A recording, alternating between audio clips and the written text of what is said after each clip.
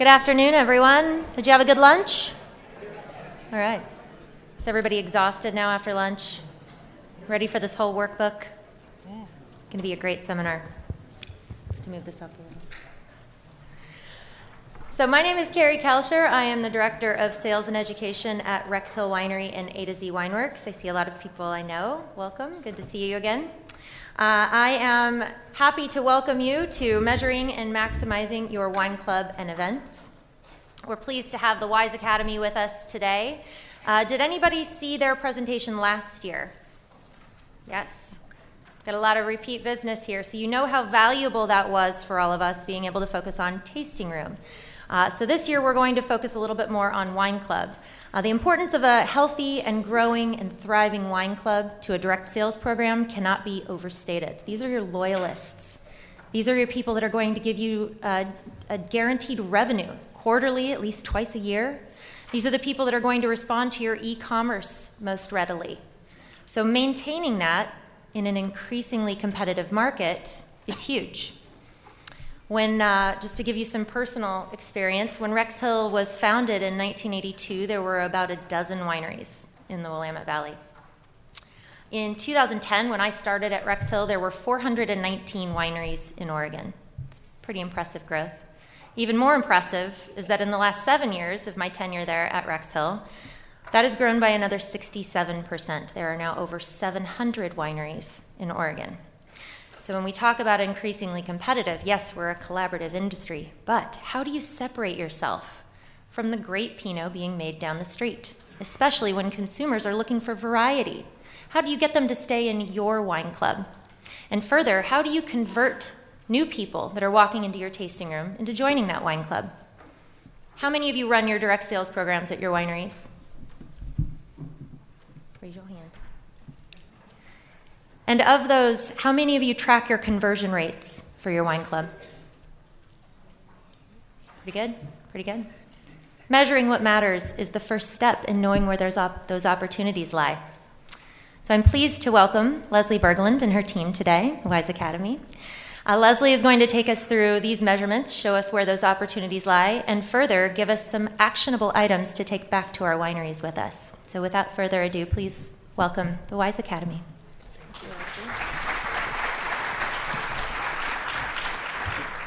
Thank you, Carrie. Let's chat about wine club motivations. Why members join, why members stay. Wouldn't it be great if we could actually see into the mind of our consumers? This cartoon attempts that. I just don't see our brand of pickle relish anywhere in here. Inconceivable! This is a brand loyalist. This afternoon, we're going to explore the motivations of our prospects, of our club members, and of our team. And we're going to share some of the best practices as well as some out of the box thinking when it comes to successfully growing our wine clubs. To set the stage together, we'll all do a hands on exercise similar to last year's, but on Wine Club instead of tasting room that helps bring these ideas to life. It is my privilege to be back here again. And this is always one of our favorite weeks of the year. Good, good excuse to come out and visit a lot of wineries up in the Willamette Valley, send a lot of Pinot Noir and Rosé home ahead of me, which is awesome. So, up here on stage with me, again, my name is Lesley Berglund, and I have two WISE team members up here Sonia Grepsky and Liz Mercer. And together we have over 50 years of combined experience in developing, managing, and growing wine clubs. Over the past, two decades, these two ladies alone have directly managed 29 separate clubs, serving a combined total of 80,000 club members. I'm going to have them each introduce them, give a little bit of background for them, and then we'll get going. So, Sonia. Hi, my name is Sonia Grabsky, and uh, I really started my venture in the wine club world actually working with Lesley Berglund at Ambrosia, where we didn't have a brick and mortar.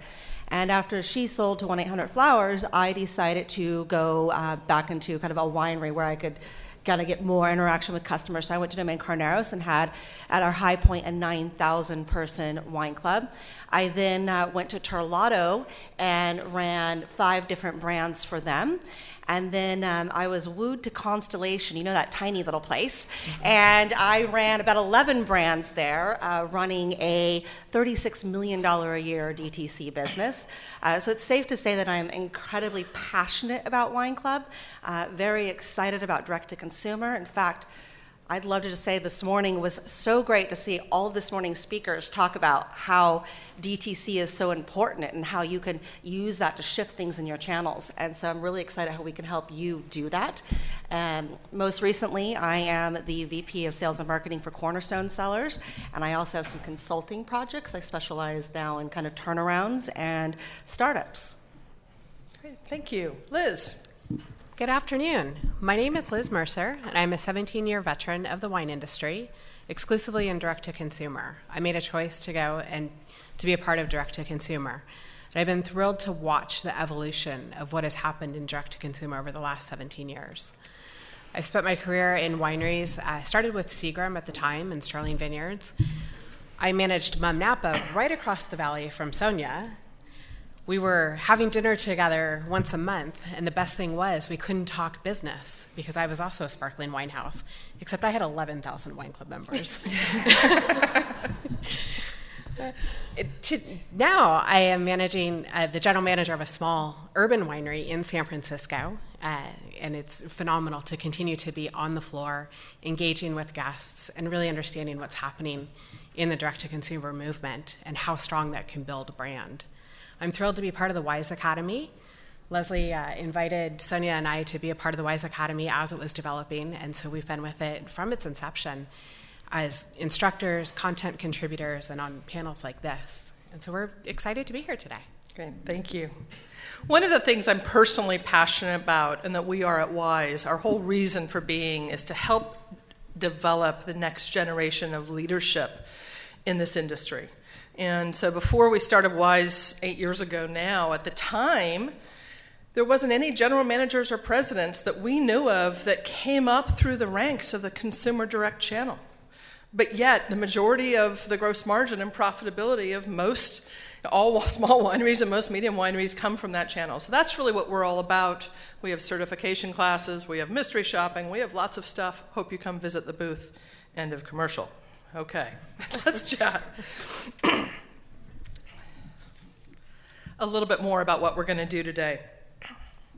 So, first, we're going to take a look at the Re- Oregon's Regional Wine Club metrics, both from some industry survey results from the Silicon Valley Bank survey that Rob McMillan was mentioning this morning, as well as some of our own mystery shopping results. We're going to see how they stack up against other we- regions and also compare to some trends that we see with our own wise wineries. Second, yes, you have highlighters in front of you and a workbook in front of you. We're going to do a hands on case study where we analyze a sample winery. This is a fictitious winery, Leslie's Winery. And for those of you who have worked with Wise, Leslie's Winery is always getting in trouble. We're going to take a look at that and see what's going on with the club. We're doing that to really bring the numbers to life. And then finally, we're going to brainstorm what are some things that we could do? What are some out of the box ideas that we can do to dramatically improve wine club metrics and really drive the business? It's my hope that by the time we leave here, and there was a typo in the program, this session does end at 5 p.m., not 4:45.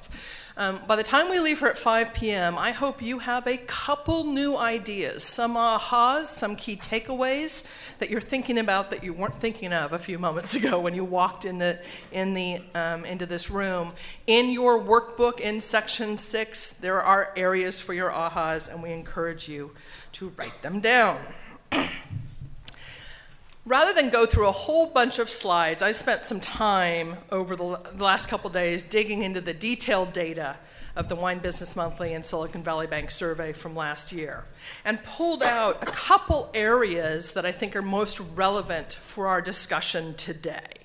And so, first of all, we heard this morning that general table wine sales are growing like 2%. Well, you know, there's an aspect of this business, and yes, Oregon is growing faster than that, but there's an aspect of this business that's really growing fast, and that's the wine clubs. Across in both uh, southern and northern Oregon, our clubs have been growing at 13%. That's slightly behind US average of 14.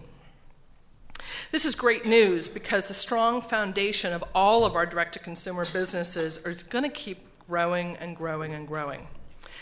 The good, uh, even better news is when we get members to join us, that annual revenue per member is extremely high. Southern Oregon it's 512, Northern it's 725. That's mostly has to do with the price point differentiation between the two. So when we sign up our wine club members, and think about yes, we give them some discounts or member savings, is a preferred term I like to use. And yes, we pay our team commission to, bring, to, to land those wine club members. We're getting 500 to $700 a year in revenue on an ongoing basis. So that's a worthwhile investment. Also, something to be extremely proud of here in Oregon is our membership tenure about 24 months in southern Oregon and 27 months in northern Oregon. Those are really, really healthy because you guys have a very low attrition rate vis a vis some other regions. Our member savings is about 17, 18%, which is super. And all of those, all of these things we've talked about so far is kind of in alignment and in really good shape vis-a-vis other regions across the country with one exception, and actually two exceptions. The first one of which is what we're paying in staff commission.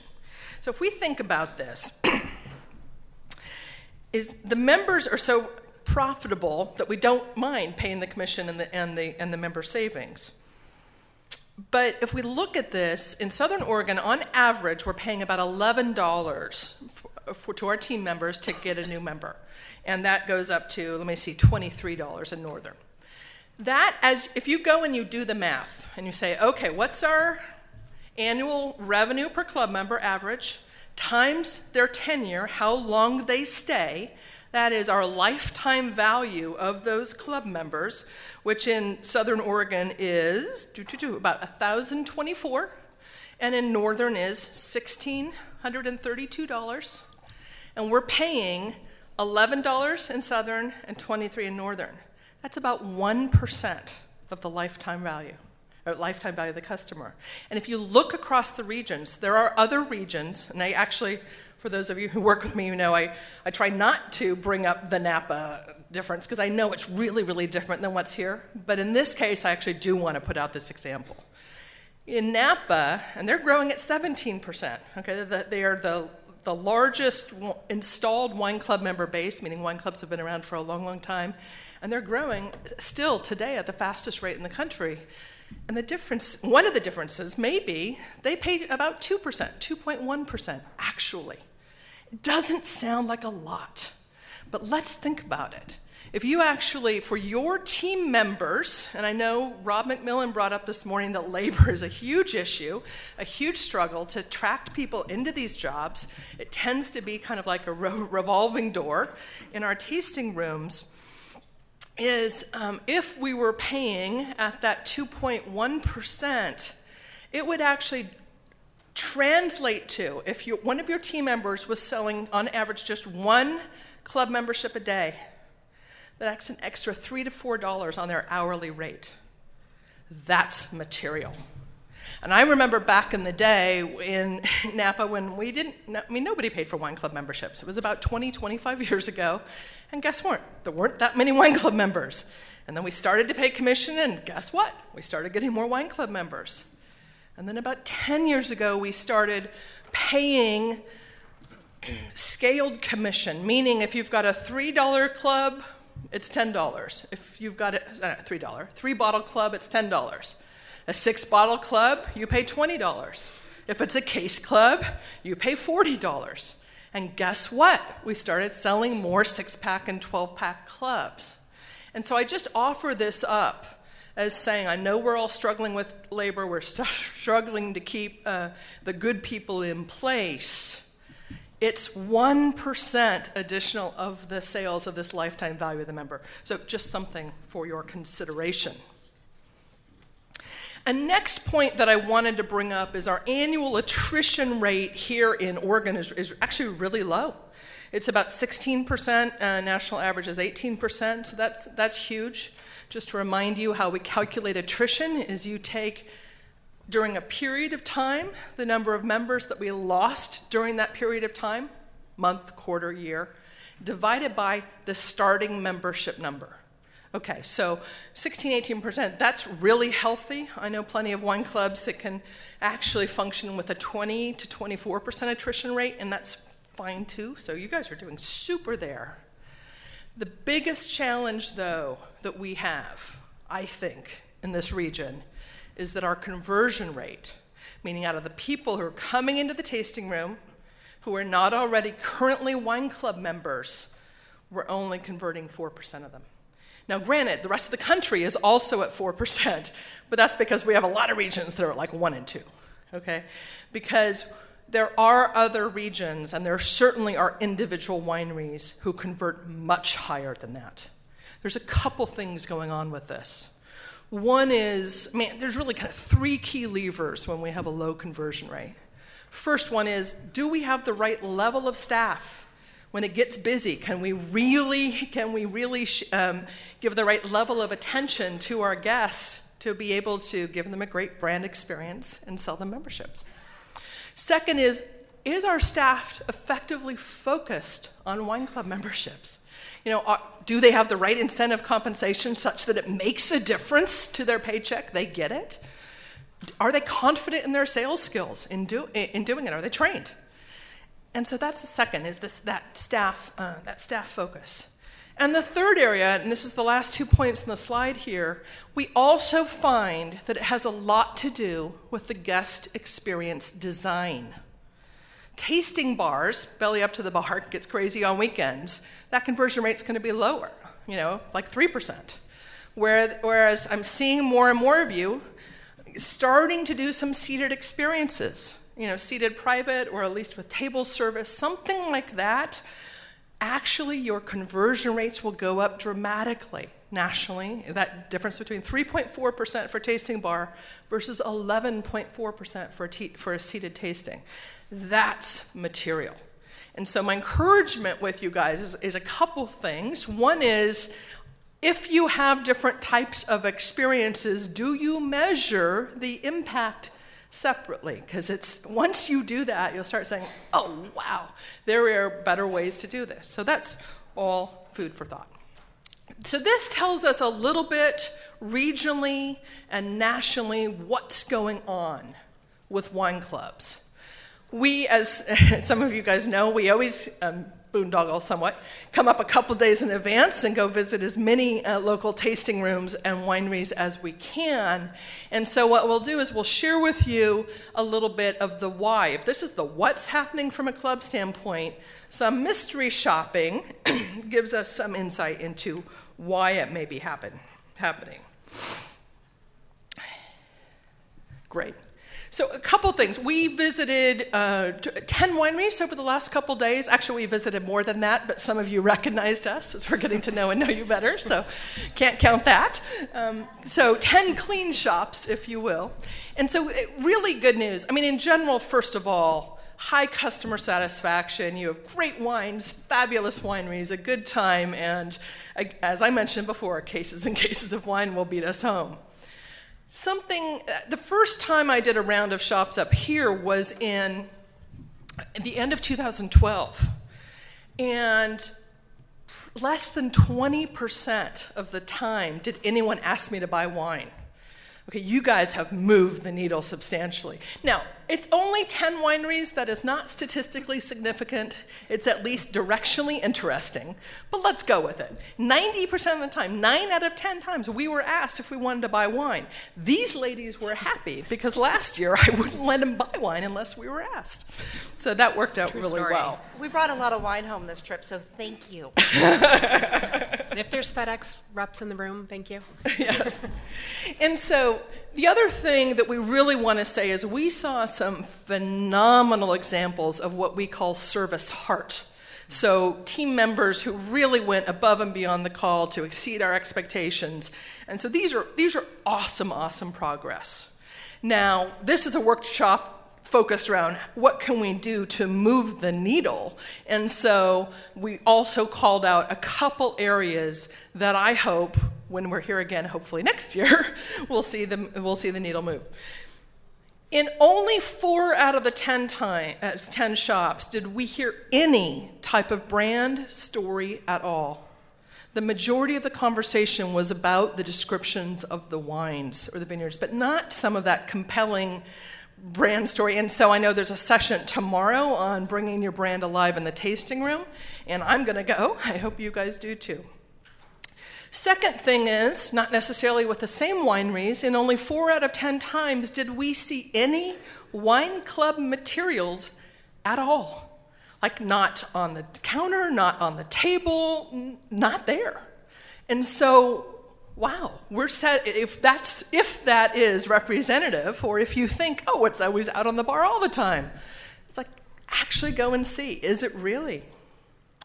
The other, the next thing is only three out of ten times were did did the host notice our buying signals? And if we had a video of this, you guys would be embarrassed how blatant we are with buying signals verbal and nonverbal, stroking the club brochure, making smiley faces on the, on the tasting notes. And so we're missing some of those signs.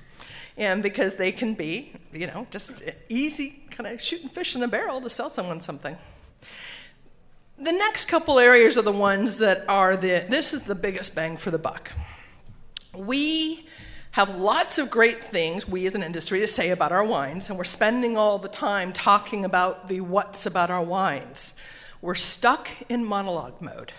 It is often very entertaining, it is great presentations, but we're not, I mean, 0% of the time did we get any, any questions beyond where are you from or have you been here? but we're not getting those open ended questions to get to know the guest that's in front of you, to figure out what brought them in today, to figure out what, the, what might be their connection with our wine club. It's hard to sell the club in a relevant way because you have so many fabulous benefits about your club if you don't know who's in front of you. So, again, in these 10 samples, we, we were stuck in monologue and not figuring out who's in front of us. Um, and then this is the part 90% of the time we were asking if we wanted to buy wine. Great, awesome. Zero, zero, zip, nada, nothing. Didn't get one person to ask us about the club, nor contact data capture. Okay, so in this case, now, you guys are obviously selling clubs, so this is not, a, you know, I don't know if it's a representative sampling or not, but I do know that we're missing 100% of the shots that we're not taking. Okay, and so in that way, these, as we mentioned, Sonia and Liz are very experienced in stepping in and growing clubs. And you've probably encountered situations like this. If you had team members that, for whatever reason, weren't, weren't putting out the club materials, weren't bringing up the club, what do you do to, to fix that? Yeah, so I think the first thing that I do is make sure that it's accessible. So is the, the club information there? Is it not tucked away in a closet that staff can't get to when they run out of? Uh, and I make sure that they're comfortable with the club. Do they understand it? Is the staff are they are they even members themselves? Do they see the value in it? Do they see the benefit to it? That's where I really start and making sure that as a manager, I'm doing my job to make sure that I've got my staff excited about the wine club. They know what the next release is, they know when it's happening, they know what the benefits are. I think that's where I. So, would you have your team members be members of your club? Oh, absolutely. would that that be part of their employment? They are a club member. As an incentive, as a as a benefit, absolutely. So they get the experience of opening the box, just like a club member does. Cool. Uh, I think one thing, you know, I try to really build out, kind of choreograph things for my team so that they've got these little sales seeds that they can drop, starting with the, hi, welcome to the winery. Are you a club member? Just put that out there to begin. We have a club silently, making sure that there's silent selling tools out and available, that price lists have wine club prices. That if you're showing wines, that, you know, oh, this is a wine club member only wine, or this was featured in this month's wine club shipment. And I think wine club member only wines is a great tool to get people to join your club. And I think it circles back to this morning when we are talking about channel mix and looking at certain wines, going, maybe this isn't right to have in the three tier market, but we have these grapes, we're making it, we're passionate about it, we can tell a story about it. Well, let's put it in the club. Let's treat people that way and, and get those wines out in a different way. All right. Did you have any other ideas on this? Yeah, you know, really, uh, for me, it's about extending an invitation. And, you know, we, we often have an internal conversation at WISE where we are the only industry in the world where people pay us money to experience our products when you think about it. So you have somebody who's walking into your tasting room, they've already pre qualified themselves that, hey, I like wine or I have an interest in wine or teach me about wine. Then they hand you 15 bucks, 20 bucks, and say, tell me about you. Nobody else does that. I think any other marketer would kill to have that type of interaction with a consumer. And so I feel that it, the next logical step is to invite them to be a part of our family and just to keep that relationship and that conversation going. And it's just a progression. And when you break it down like that, and you, you explain that to your team and, and, and engage them in that process of how do we invite people to keep that relationship going, you kind of get some of those aha moments starting to build, and that's where you start to see the magic happening. So, if you've ha- have you had team members that, for whatever reason, just were not comfortable with the club? I was not comfortable with the club. So, how'd you get over it? Yeah, so I, will tell you, true story. I was 22, uh, in the, brand new to the wine business, and my car had one door that did not match all the other colors of the door. My sunroof, if you opened it, you better hope it was going to be a sunny day because it wasn't closing very easily. I was I was 22 years old. I had student loans. I had my first apartment. I had you know a car that barely ran. I was concerned about making sure that I got to work and that I was eating something more than top ramen for dinner. And I had a bias that nobody else that I was selling to would be able to join a wine club because I couldn't join a wine club. So there was no way that I was going to be able to sell one. And somebody took me out to the parking lot and they said, let's go have a walk. And I went, okay. A little nervous, but sure, let's go have a walk. And they say, "What kind of cars do you see?" And I'm like, "Well, there's a you know Range Rover, there's a Mercedes, there's a BMW." And they're like, "Okay, what car's yours?" And I'm like, "The one over in the corner with the door that doesn't match the other cars." And they said, "Do you think that they can afford Wine Club?" And I was like, "Well, yeah. I mean, they're driving an eighty thousand dollar car." And they said, "Right, they can join Wine Club. They can enjoy it. Ask them." And I was like, and I had that aha moment. And it was really powerful for me. And, so, and, I think you can learn that in profiling your guests and actually having these conversations, and engaging with open-ended questions. Where are you from? What brings you up here? You know, being, you know, what do you do for a living? You can find these things out and go, okay, this person's perfect for the case club, or this person, maybe, you know, a two-bottle club is a better fit for them. Yeah. But I think that's one of the, as we obviously teach sales, it's one of the core things that wine does. And we find that one of the, if you really start peeling back the layers, if we're having someone who's stuck or not comfortable with clubs, it's often because we, and it's human nature, we want to treat others as we would want to be treated. We don't want to, if it's not in our budget or not, we're not joiners or whatever, that we don't want to bother someone else. But it's the difference between the golden rule is treating others as we would want to be treated. But that's not good enough for our industry. You might remember we said this last year. It's what we're going for is the platinum rule, is we need to treat others as they would want to be treated. It has nothing to do with our preferences, our budget, our anything. It's what they want. And so, and it's really hard to figure out what they want if we're stuck in monologue mode for, for an hour. Okay, so we're going to move on. We will certainly um, hear more. I know we have more lessons to hear from Liz and Sonia. We're going to move on to the exercise that we have in front of us. And there's a first step before we start, which is section one in your workbook. I would like you each to take just a couple minutes to jot down what are the metrics in regards to Wine Club that you personally, consistently monitor today? What are those metrics that are perhaps sales related around Wine Club, perhaps operations related, anything? Just please take a moment, everybody, and jot them down.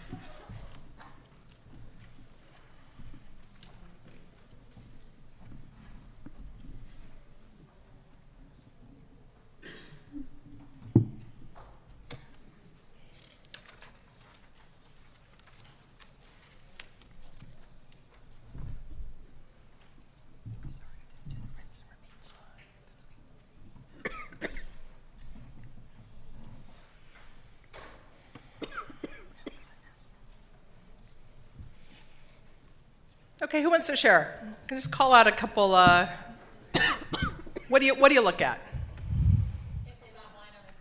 If they bought wine on their first visit. Okay, what else? So, it, it, for, in general, how does that map to club? How does this map to club? Well, I want to make sure that they're buyers that are really engaged in our product. Okay. See if the buyers are engaged in the product. For looking at club success, what, do you, what are you measuring? What else? Number of new memberships. What else? Attrition rate. What else? Purchases in addition to the auto ship portion of the wine club. What else? Sorry? How many people each sales associate? Is signing up? How many people each sales associate so, so wine club signups by employee by employee. That's great. What else? Tenure. How long the members are staying. Great. So this is this is this is all good stuff. And these ladies have spent a lot of time in metrics, and I'm a metrics wonk, so they, they put up with me. What else? What else do you guys look at?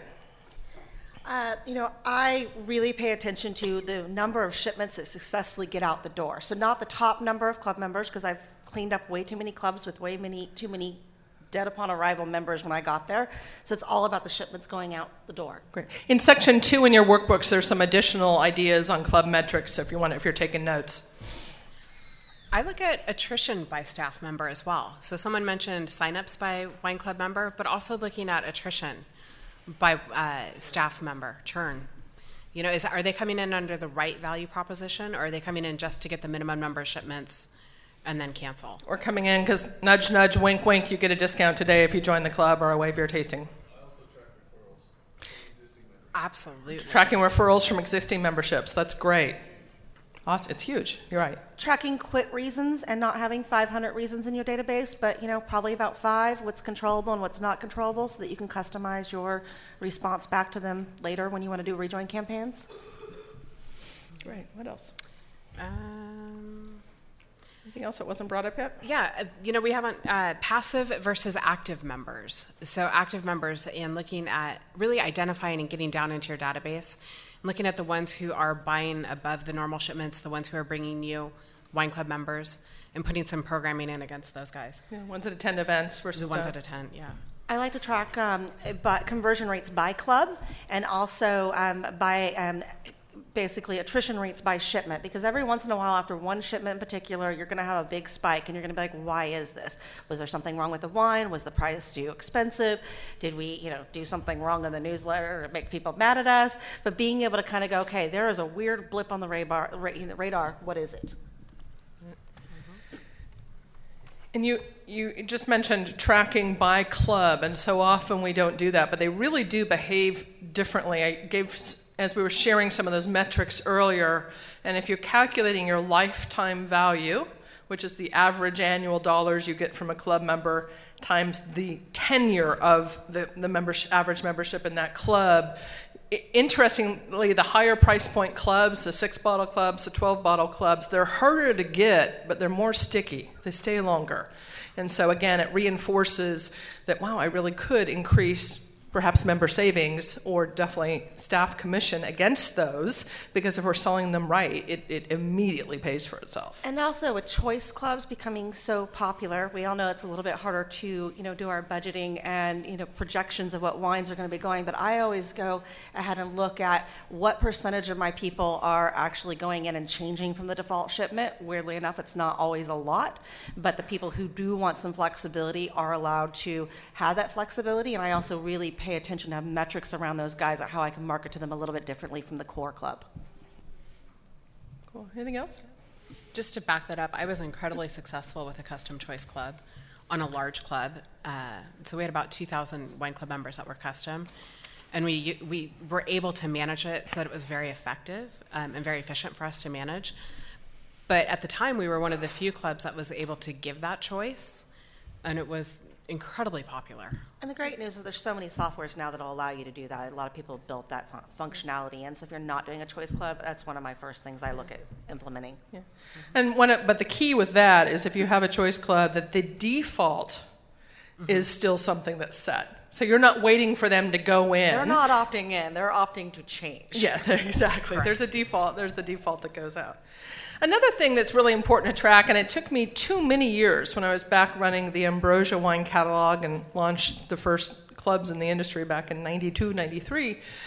Um, one of the first, it took me a long time to figure out that the ex club members, those people who left us that I never actually wanted to, you know, they would just kind of piss me off. I mean, like, why are they leaving me? And I realized because I was looking at the data, because I'm a data wonk, is like despite them no longer being club members, they still kept buying wines from us. Mm-hmm. It's like, wow, what if I wasn't treating them like a bunch of ex boyfriends I never want to speak to again and actually viewing them as alumni? You know, they've graduated from the club. Just because they've quit the club does not mean they've quit your brand. And so, tracking that group, your alumni group, and figuring out, you know, winning isn't necessarily getting back in the club. They've already, they've already graduated. Maybe there's a new way, there's a next generation way that you can be selling them wine and keeping engagement with your brand. And I think one thing we haven't talked about yet is do you have a program available for your non-club club members? So those that are the they aren't committers. They're not going to put a ring on it. But they're VIPs. But they're VIPs, absolutely. And so are we do we have programming for them when they come into the room or when we're doing special offers? Are we recognizing them? Do we have them segmented out? Do we know who they are? and are we, we giving them the love that they deserve? I, I think that's huge. I mean, I've got whales that just don't want to be in a club for whatever reason. They want to be able to pick up the phone. They want to be able to have that concierge treatment. And, uh, you know, I have certain people that I'll just designate to handle them personally and be their designated rep. Yeah, absolutely. Uh, great Repeat question. the question, please. The question is, what sort of programming, do, programming would we offer for them? So I would have them designated in the database, like you would traditionally a wine club. I would tag them so that I would know who they are. And I would really listen to them. So this goes back to how we were asked zero open ended questions. Through that rapport building and through that dialogue and that relationship building, I would start to catalog either their preferences, do they like to visit on particular times, like around release times, and I would just get to know them, and then I would tailor offers to them. And it sounds like, especially when you're talking about a, a larger database, that this isn't very efficient. It can be. Even when I was with Gallo and we had large, large databases, we were able to zero in through deciling and through segmentation and really zero in on who those people were and start to group them together. And it was simple as we would have phone campaigns and downtimes in the tasting rooms, and those tasting room reps that had an affinity or a relationship with that individual, we would say, hey, it's time to reach out to them again. You've got, you know, 15 minutes in the morning, give them a call, see, see where they're at. You know, it's their favorite release is coming up. Um, or we'll have a special event, an unadvertised event, just for those types of folks. And we were able to really, really maximize those relationships. And on a personal note, we actually got to know them really well. And this is where it gets a little creepy because when you start to have wine club members following you on Facebook, you know, and they're like sending you birthday cards. It's you know, I'm supposed to be sending them birthday cards, I, but it's it's we're wine. You know, we're a very social. But I think that industry. speaks to building relationships, and that people love wine because it's it's it's not just a you know a kind of a one-off commodity. It's a relationship, and it's storytelling, and it's things we share with our friends. And so, why not make friends with the person who sells you your wine? Yeah. Okay.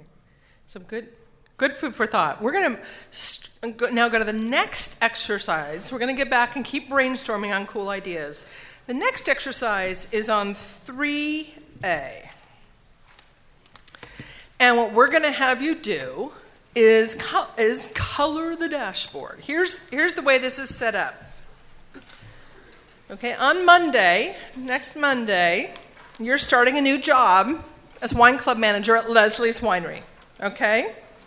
Despite kind of growth that's, or continued growth in this club, you've heard that the club is having some problems, and that's why you've been hired. So, you've just been given wine club metrics about the club's performance over the last three years, and the goals that have been set for this year, for 2017. Now, let's put aside the crazy ass goals that we have for 2017 and just focus on 2016 right now. Because your first thing is to dive in and start to understand what's happening with this club, to establish your baseline, to understand what you're walking into. You have highlighters in front of you. We're going to color green for good news and obnoxious hot pink because if for bad news, if it was red, you couldn't read it. And yellow is any question that you may have. I encourage you to color on your own and then get together with a couple people near you. You could turn around and work with people behind you, but in, in small groups of two, three, or four. And go through on, on 3A, there's the, the dashboard. On 3B, we actually have the questions. So, so physically jot down or highlight what's the good news? What's the bad news? What questions do you have? And where should you, as, Les, as the new wine club manager, focus to be able to grow your club? And if anybody needs anything, just ask. More highlighters? You have about 15 minutes to do this exercise.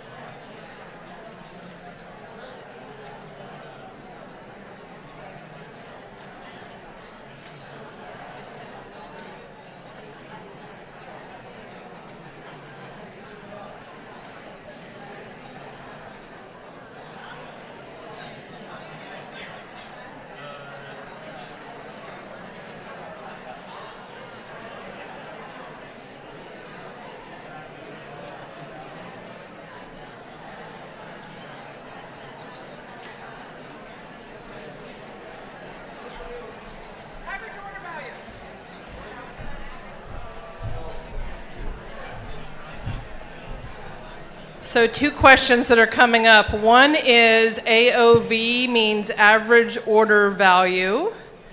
And second is just an implied thing you wouldn't know is we actually launched a new website at the end of 2015.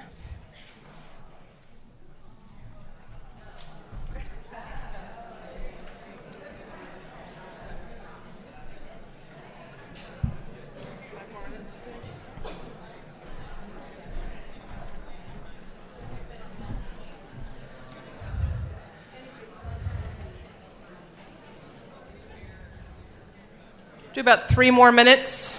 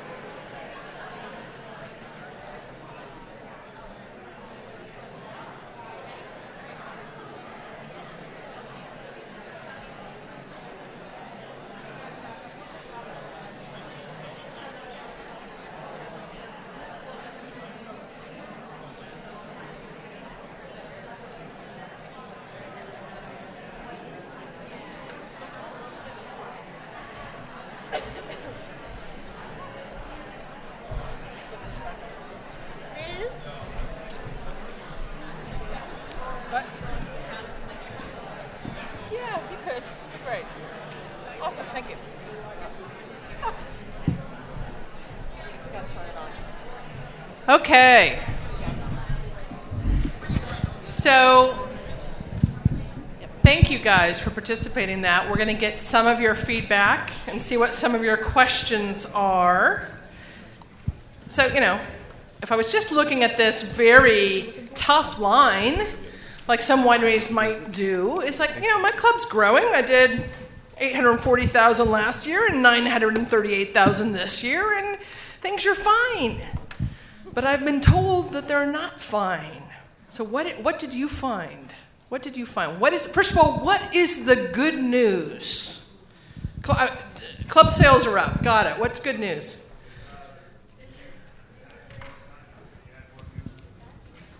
We had more people visit the tasting room. Yes, our visitors jumped from 15,000 to 25,000. That's, that's good news.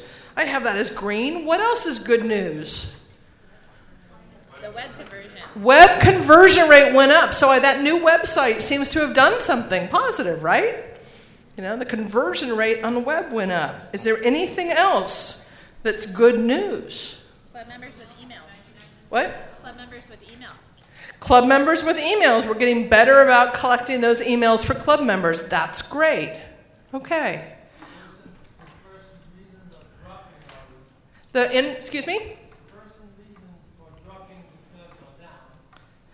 The person reasons for dropping the club, let me see here.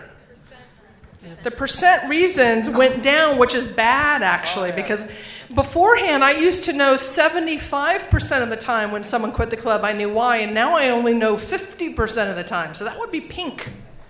Okay, speaking of pinks, what else is bad news? What did you color pink? Yes.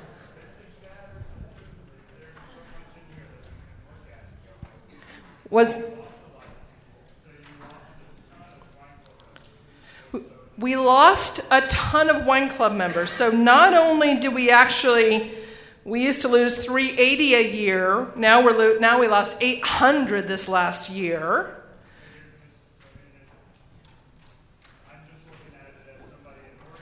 Yeah. What happened? What happened? Really great question. So, if you want, if you ladies were handed this and you had no idea, you saw that because it's not just the number of people you lost, but it's the actual attrition rate. Because remember, as your club grows, the number of people you lose is going to keep growing. That's the nature of the beast. But in this case, our attrition rate jumped from 26% up to 45%. And 26%, granted, that's normal than, than, than Oregon averages, but a lot of healthy clubs lose between 20 to 25%. Not, you know, not that big of a deal. And now it's 45, so the wheels came off somewhere to your point. What might it be? I mean, we're just making this up. You don't know anything about Leslie, but if you saw that, what are some of the things that might jump into your head? I would ask, uh, what's going on with your credit card decline rate too? Mm-hmm. Where's our wine club manager? Yeah, where's the? Oh, you mean? Oh, you know, uh, he, he actually left about a, a year ago, and I was trying to cut costs and didn't really, you know. How'd that work out for you? I figured it. Well, my club's my club's growing, so, What, you, your revenue, But it's not healthy.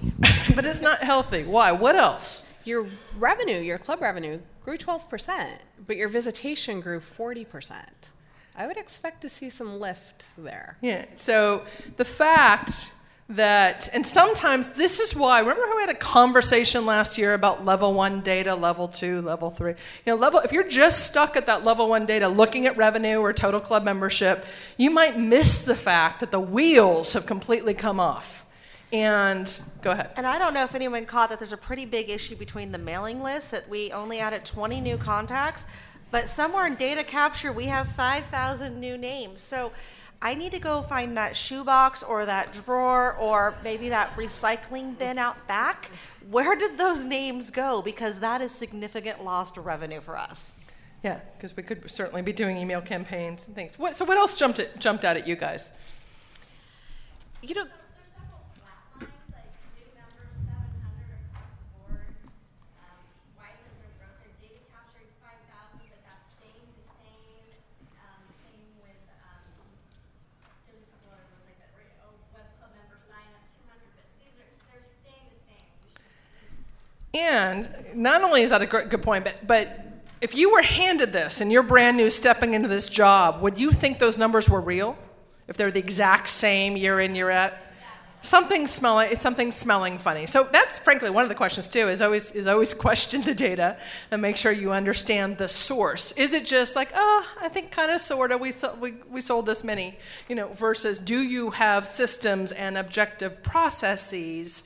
Because if you can't measure it, you can't manage it, right? You don't know what levers to pull. You know, we're assuming this is right, but you don't know what levers to pull if it's kind of garbage in, garbage out on data.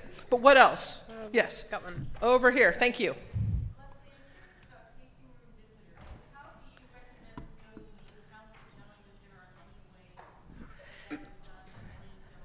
Really good point. So, how do we measure the tasting room visitors? What's the best method for counting them? There's a number of methods. The most important one is be consistent. Okay? Some people count glasses. I think that's a little dicey. Some people have clickers.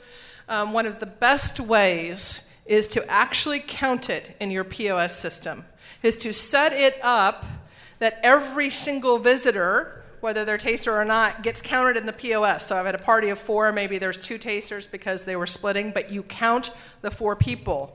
It has zero, it doesn't affect your inventory, but that way it's in your data, so that way you can do the math and do the de- denominator. And I Another- like I like to get really granular. So my daily tracking sheet that we do in the tasting room is how many people showed up, how many were club members, how many were not club members, and how many were trade.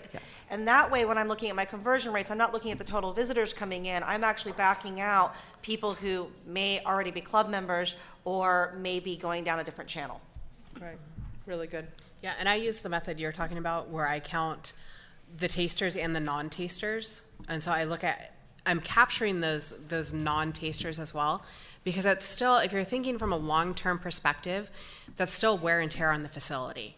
If you're on a you know a septic system that still flushes on the potties that you've got to be thinking about, um, right? it is. Those are those are things that you need to be thinking about having supplies for, or things that you need to be having in your tasting room, and so I look at it's crucial. And I also err on the to that point of the counting everything. I know some wineries say, "Oh, I just count buying units. A couple's not going to do two purchases." It's like, first of all, who are you to judge who's a couple or not, right? And and and second, along that thing of op, of utilization of the facilities and how much staff you need coverage for X number of people is really important. And one of the things I learned from Liz years ago is the, the metrics on looking at labor hours divided by the number of visitors that they see, and then you have to have total visitors into that. There was a question or comment over here that I cut off. No, okay. On the plan, we are going to come back to this wacky plan in a couple minutes, but thank you. We're going to get there. Yes, in the back. Getting very few people clicking on links and emails. Ladies, what might be happening there? Something wrong with the content, something wrong with your email service provider. Uh, but you are getting open, so people are opening. That's increased. So I, that was what I was going to bring up if no one brought up. Yeah, yeah, absolutely. And also, for those of you who I hope you are, first of all, sending out different emails. There's there's emails that are the logistics emails, like your hey, we're going to run your credit card and your, and your shipment's coming. But there's other emails to your club members that are relevant because of who they are with your relationship with the brand. You want to make sure, first of all, those are not just sucked up in your general emails for everyone else. That you are doing segmented email campaigns, and that you are down to the granular level, just like you were asking, looking at the opens, the clicks, the actual performance, the conversion rates on these emails by segment, And I think- because they should uh, they should behave really differently than the rest of the world. I learned a really valuable lesson in looking at that where I kind of looked at, you know, kind of a whole year's worth of emails. And there was one that stood out, and I'm like, wow, why did this email get this huge unsubscribe kind of rate? And, you know, it was a sparkling wine house that I do some consulting with, and it was a just read Pinot based email with the Pinot release. And it was one of the biggest. I was like, okay, I'll never do that again. And so every time they call me, like, our Pinots are out, we need to do a Pinot. email." I'm like, great, I'm only going to send it to people who's ever bought Pinot. And that's a very small lit part of that list. Yeah, And the other, the thing that I noticed on here with the club unsubscribe rate and that jump on that, so it looks like you might have a little bit of email fatigue going on. With you, if you're, someone pointed out, you yeah, know, what the we don't have here rate- is how many emails are going out. Yeah, but if you've got your click through is down to five percent, and we had a pretty healthy click through before, and then our club unsubscribe on emails is bouncing up on that. Oh, they're not know, we might the be. content. They're not liking You the mean my content. we're nephew didn't do, do a good job because we didn't have the club web manager here? No. No. Okay. No, he didn't. ROI. Yeah. Ladies, did you see anything else? You know, I took a second look at this after our discussion this morning and, and sitting in um, the sessions this morning. And the club AOV started jumping out average order value, Yeah, the yes. average order value hasn't changed in three years, but we're going to be bringing it up in 2017. So I think you were in that session and paying attention about the sales mix and the channel mix. Mm-hmm. Um, and I wanted to ask you about that. Yeah. So one of the things that, um, as we talked about other th- things that we look at, it wasn't on this list, but I think it's really important where we look at, at if you have different clubs at different price points, and at the end of every month, what percentage of your membership is in each club, and compare that to what percentage of the new members are joining each club, right? So if you had 12% of your members were in the 12 pack, you know, the, the full case club, but only 3% of the members coming in are in that full case club. Wait a minute, that's, that means over time your AOV is going to go down and what's going on. We had a really interesting lesson with one of our WISE wineries th- that uh, they actually were are a well-known brand and but strangely they had never had a club before so we helped them launch a club well-known brand well-respected great guest experience we launched a club for the first time it was very successful and they had about 15 team members in their tasting room and there were two guys that were inordinately successful at selling the 12-pack club there was a 3 6 and 12 option And we were like, that's cool, but what are they doing and can't we teach it to the rest? And we actually, and we, everybody was struggling. They didn't even know why they were successful. It just was working that way. And finally, we sat there and we just eaves, eavesdropped. We listened in. And the difference was, and this gets back to the golden rule versus the platinum rule, judging others, saying, hey, if my budget's limited, I don't want to bother someone with a, a full case. Maybe I'll kind of sort of mention a three pack club. You know, the only difference with these two guys is everybody else started talking about the club, saying, and here's how the club works. It, there's three bottles, it comes once a quarter, da, da, da. And these two guys said, here's how the club works. The best club is a full case. And then and talks about the benefits there, and then kind of, of course, if that's too much, works their way down. That was their only difference. Everything they did. So again, and sometimes we stand in our own way. I've had And- huge success with that. Present the top club first because in your negotiation changes, Yeah. right? It's not two bottles or one bottle. You're going to go from 12 to 2 versus 2 to 1. And it was fun. Carrie brought that up, and just we we were standing up here before, it's like, yeah, we were already, already talking about that. Awesome. Anything else jump out from this? You know, one thing when I'm looking at your visit of traffic, going, okay, you jumped to 25, you're going to go to 25 again. You know, is 25 really the sweet spot? Do you need more staff, or do you need to bring it down and go to reservation only and make them a little bit more intimate? Go to seated tastings. You know, really look at that because that, you know, how you structure your tasting experience is going to change what your conversion rates are. Definitely. We've, uh, we- we've led a number of WISE wineries through this uh, through a transition process over the last over the last year or so where they're saying, "Hey, we're going to either from open to by appointment or it used to be all bar at bar now they're seated like there's really some change going on." And the good news is you can do that and actually plan to have less traffic. You know, you're kind of saying, "I'm consciously doing this." But it's going to work out because I know my conversion rates and average order values are, are going to go up, and you could even charge more for the experience. I mean, there's lots of ways that works, but there is going to be a difference. I will stress though, if you are going to change from kind of always being by appointment, people can drop off anytime to really have a good communication plan in place. Especially have for a club good members. Social media plan in place, have a good response to Yelp and any negative in place, and then, you know, have us kind of pack up. Like I did a splash bar at one place, so people drove out there and we were full and we couldn't get them in in a certain period of time. Oh, well, you know what? We got a splash bar. You're still going to get some bubbles. You're still going to get some love. And then, you know, we'll get you back another day or you can pick up your shipment. But we did it very proactively and we'd work through like every scenario from the happiest member to the most mad member. and um, I think we, you know, we, we got a little heat a couple of times, but we were ready for it. And I did that with a winery too, and I enlisted the support of all the local gatekeepers. So I had the local tasting rooms, my top referrers, because I tracked referral source very closely. My top referrers, the top hotels, everybody that was sending me traffic, I made sure that they actually had the invitation to come and do the new experience and get excited about the new experience so that they were calling their referring traffic and making appointments for them. So I'd like to kind of keep this brainstorming going. We are we have a gentleman down here who's concerned about the 2017 plan, and that's that's a healthy fear. Um, and we are going to circle back to that. But let's keep the brainstorming going for a little bit of just saying, okay, what are some of these other things that you guys have done to really build relationships with the customers, to get it off uh, with club members, to get it beyond the transactional, and into those sticky brand ambassadors that uh, that we need more of. So for me, this is having a, a comprehensive club's event strategy in place, mapping it out on a calendar, and looking at the mix. Do I have enough retention, you know, and club member appreciation events?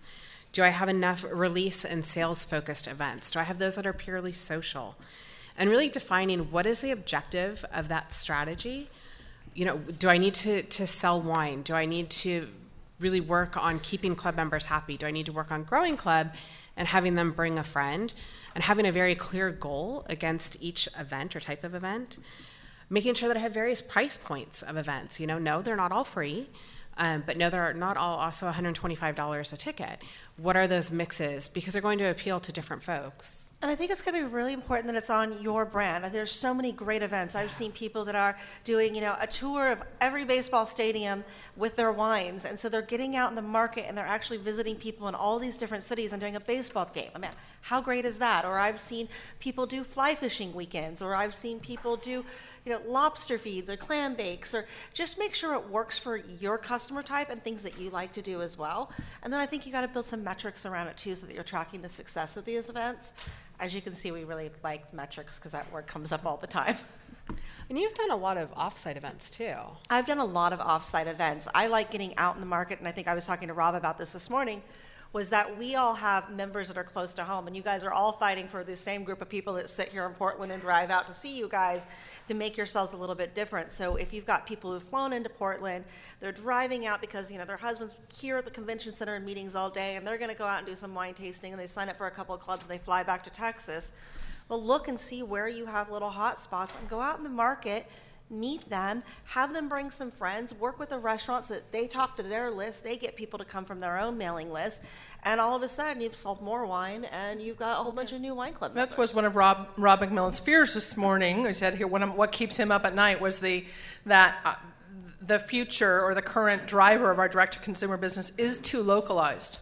But we have this opportunity, like Christian Miller was kind of encouraging us to like create more brand ambassadors, get this word out, and what better way than use these club members as champions in local markets to then build from there. Yeah. Yeah. Anything else on on events? Yes. Was there a question? No. Okay. A hiccup. That's fine. Okay. Other stuff. Other what what do we haven't we talked about yet? favorite slide. All right. Um, you know, so I'm going to jump off of just kind of what we were talking about with events first. Uh, I did a really great partner pairing where I actually paired up with 12 other wineries. So we are called the Gems, and it was a Sonoma and Napa wineries, and we basically had a secret society layered under our club. So anybody who had been a club member, you know, the year prior, so this year being 2016, had spent X amount of dollars, would get this nice letter in January saying, "Congratulations, you are now part of a very special group, and you get XYZ benefits at each other winery." And it didn't mean full club benefits. It may have been like you know a tweaking, whatever you guys wanted to offer my club members, and whatever I wanted to offer the other people club members. And we had an access page on all of our websites. And then from there, we'd actually do a once a year road show where we'd go spend four days in you know different cities. And so I did three different cities in Florida, and then we went to Atlanta, Georgia, and we invited all of our club members, did something in different hotels or restaurants, and it was great because there's 12 of us, and I'm getting to see you know her wine club member or her wine club member or your club member saying, "Oh, I've never heard of you guys, but I know Bob over there, and I buy 12 cases a year from him." And so I got all kinds of sales right there on site that I was able to go back and process when I got back to the winery. I got new club members, and people were just excited that like we showed up in their town with our other wine buddies because we know they're not drinking just our wine, and it was just a really fun experience. Yeah, really good idea to find secondary and tertiary markets that maybe don't get a lot of wine love or maybe don't have a lot of wine events or that, you know, they don't have the New York wine experience there, but maybe they have, you know, so you're in somewhere in Connecticut instead or you're, you're farther away. And it gives you a chance city. too, if you got kind of out for a couple of days. I did a little bit of wa- market work in each city too, so you know we kind of figured out how to make it work for us. We're seeing that with more and more small, especially smaller wineries, that as they are kind of reconfiguring less three tier and more focus on direct to consumer, sometimes the three tier markets that they choose to keep open are driven by where they have pockets where they have cohorts of club members. And so they know they want to go visit in the market, and so it can kind of justify that travel time to be there. You know, Liz, you were talking a little bit this morning about the success that you had with a client on trade. Can you share a little bit about that? Because it was amazing metrics. Yeah, so I uh, worked with a, a winery and had access into their database, and we, we did some sorting, and we were looking at their tenure. And I, we noticed some noise when we were looking at their tenure on particular clubs. And so we dug deeper down into it, and I said, okay, if we look at just your pure consumer clubs, uh, you know, your two bottle, your four bottle, your six bottle, we looked at those and we saw that their tenure was about uh, 22 months. I sorted and segmented out trade and local industry clubs, and they mirrored all of their consumer clubs with the trade and industry club, which I thought was brilliant to begin with because we are clearly, clearly very loyal. Those tenures were 48 months on those industry and local trade members. So it was anybody who sold their wine out in market, so maybe a restaurateur or maybe a retailer. Um, and it was also local people in the industry or who were hotel concierge or were gatekeepers. And I asked him, I was like, well, why, do you, why did you do this? You know, why do you separate them out and what are the benefits? And their reply was, there's nobody that we want more to be getting our communications and to be getting and opening our wines than people who are going to be sending us more qualified business. And the math proved that by giving them a trade discount of 30%, they overspent over the course of their lifetime value that discount that they gave them. And not only that, they were also really high referrers because they were tracking all their referral sources. So their dollars per guest average was $36. We looked at some of those club members that were in those industry and trade clubs, and their dollars per guest that they were sending were up over $100. So they were sending very well qualified. So it just worked out beautifully when we did that study of their database. And this was a very small winery that we looked at. But we just, the metrics were there. They had very clean information in their database, and we were able to sort through it. Yeah. Was there a question? A question on the, uh, on this trade club. Yeah. Did they, did you have regular shipments, or was just you're a part of the club, so you get this? So the question is, did the trade club have regular shipments, or was it just part of a inner circle thing? In this particular one, they had they got the exact same club schedule and club shipments. The only difference was that they got a deeper discount. They got a, a traditional thirty percent industry discount. Um, they already, and if you think about it, those guests who would walk into the room would pretty much generally get complimentary tastings to begin with. So they were truly in it for the love of the wine, and they they worked that to their advantage. And it, I mean, nothing's more powerful than if you're at a restaurant and the and the server says, "Well, I'm a member of such and such," or you're at another winery and asking, as we did everywhere we went, "Where else should we go?" It's like, "Well, actually, I'm a member over here." How powerful is that? But we tend to assume if someone's on the tray, why would they join the club? We want to join. Trust us. Yeah, keep selling There us. were a few that we would have joined yesterday if we'd been asked. You know, another really good thing that you can do too is if any of you guys are ever doing, because I know we all kind of cringe when we hear that maybe somebody else has made a decision to put up something on, you know, Wines Till Sold Out or Ravino or Cellar Angels or Wine Spies or any one of those guys. Go back and negotiate that. Okay, great. If someone orders, you know, six bottles or a case, will you send me, or you can put it in the box with it? But I had one client um, that we actually worked with, and we got the mailing address, and I sent each person a certificate, and that certificate number was their new nice number in our database. And when they came in and they redeemed their enhanced tasting, I was able to track the dollar sales that came from these people.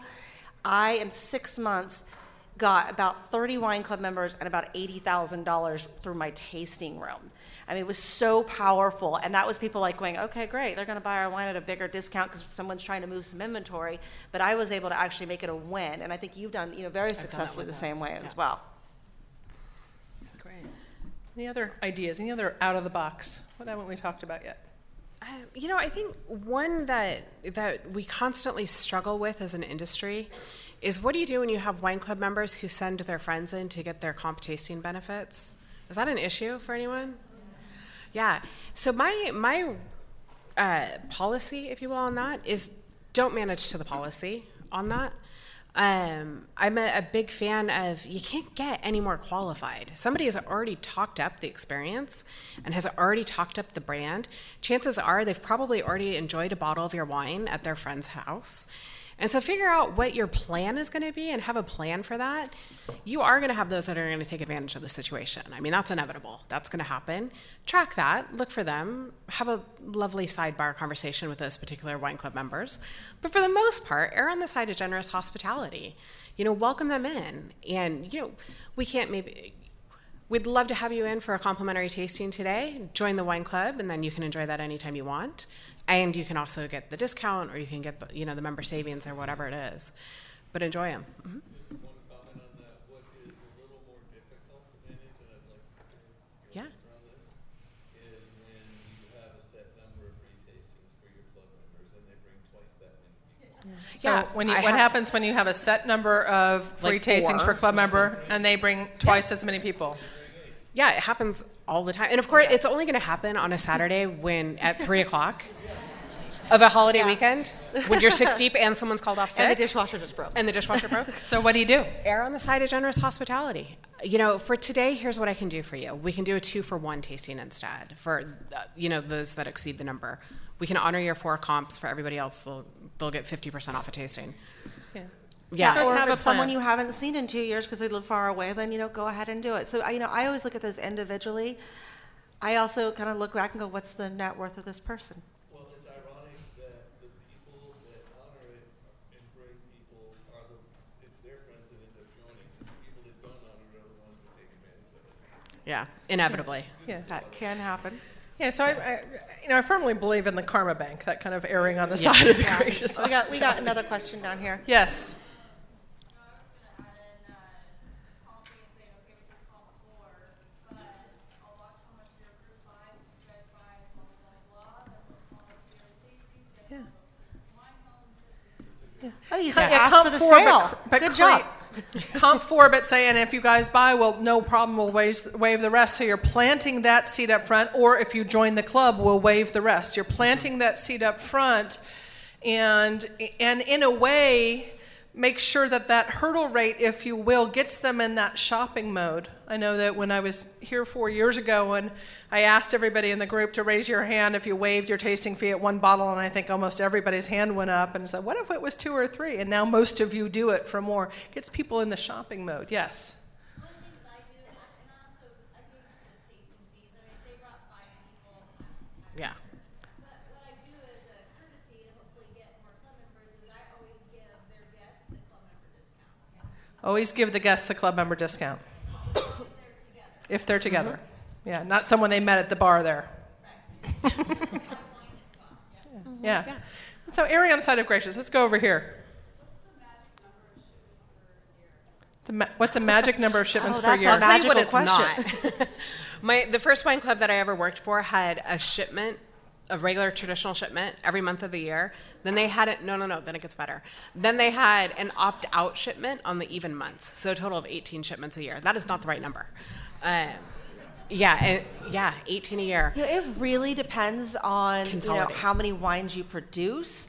Uh, you know what your production is. I do a lot of modeling around this, and it really there's no one size fits all. What I will say is try to stay away from just once a year because it's harder to keep your credit cards up to date. So the more often you're processing credit cards, the more often you're doing that cleanup. We see pretty typical, anywhere from like three to four. Yeah.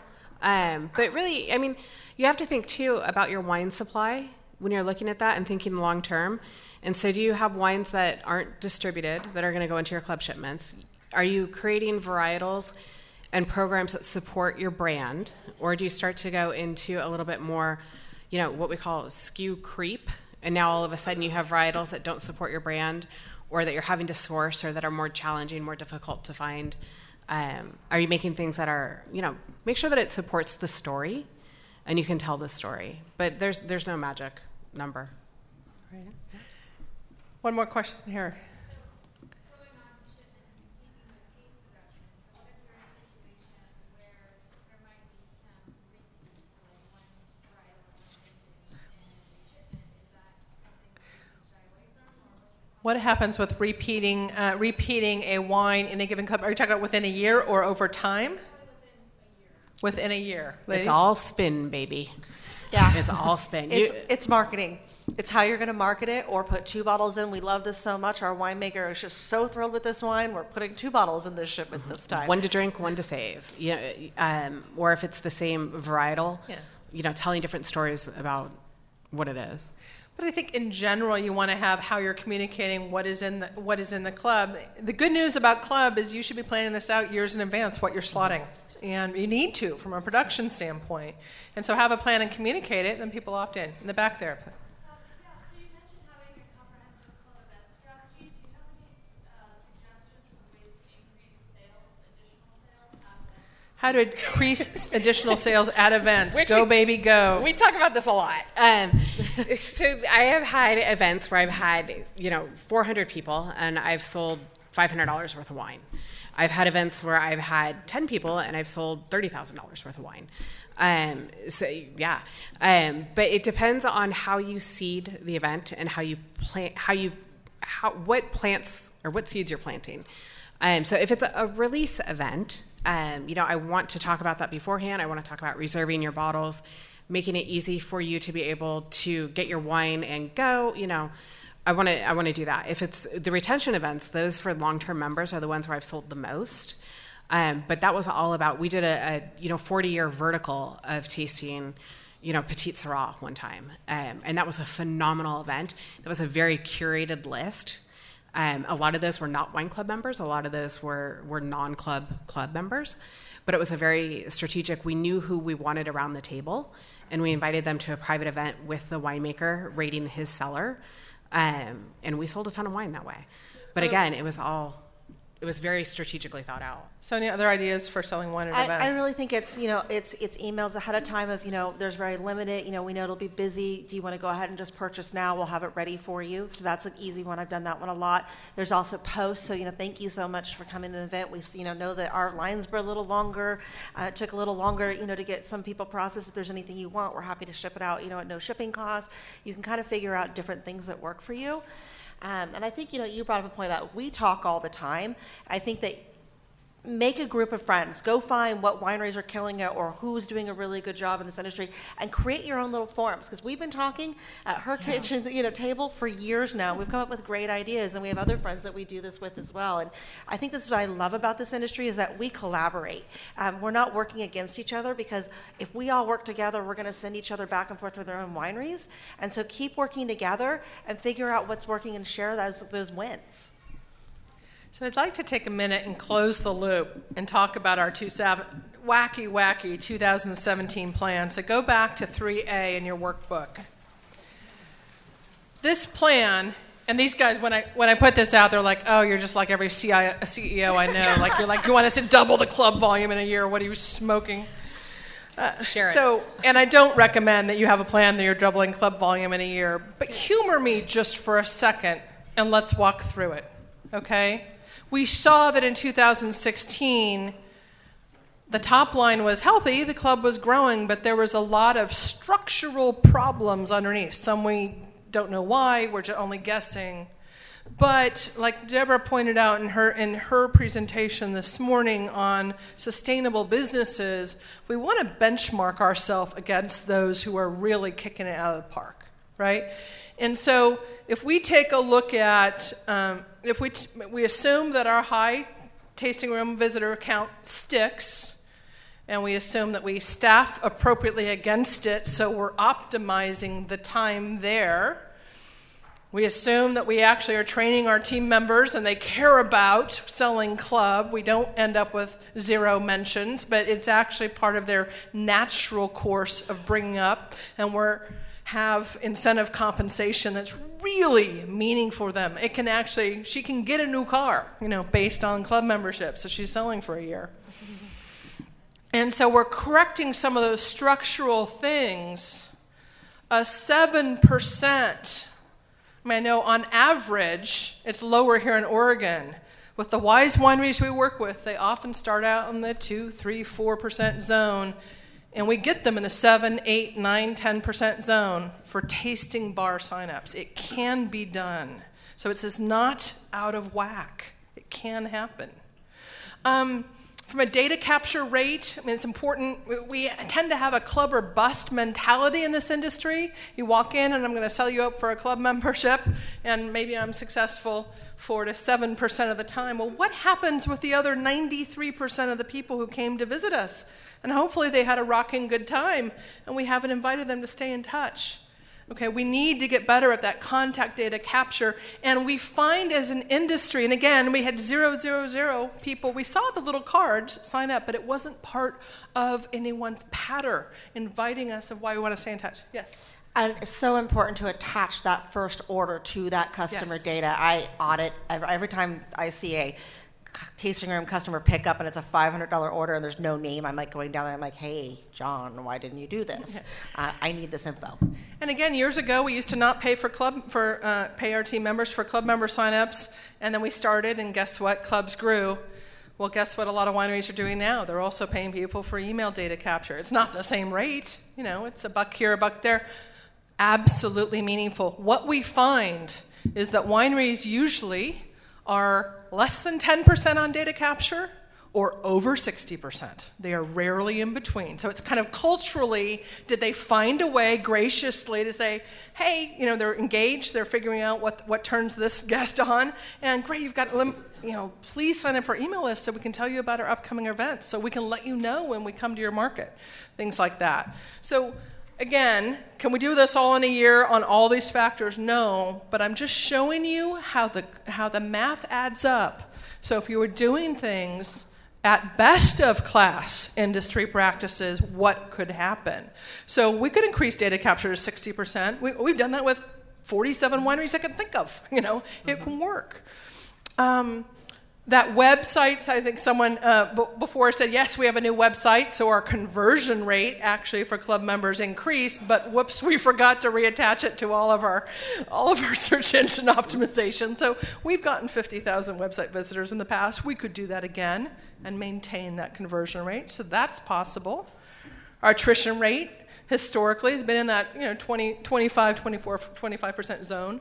That's possible if we get back there. We have to figure out what the heck was going on, you know, but now we have you guys as the superstar club manager on board, and we'll figure that out. Because we know that if it's being sold properly, and we're tracking that attrition down to the individual, not only who's signing people up, but who, who's signing people up inappropriately. You know, people respect what we inspect, and we had that, that lesson from last year. I, I hope that you take away from this session at least some new ideas. I hope that, um, you know, Carrie asked the question when we started out how many people are tracking their response rates and really know at least some of these basic levels. It's a really important discipline, not only for you, but for your team members.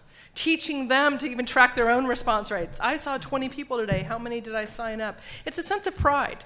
You know, people want to do a good job and they want to know what winning is looking like. And so if we can get alignment, you know, really in what's motivating them and find ways to celebrate, I know that we're going to move the needle on club. So with that, thank you guys very, very much.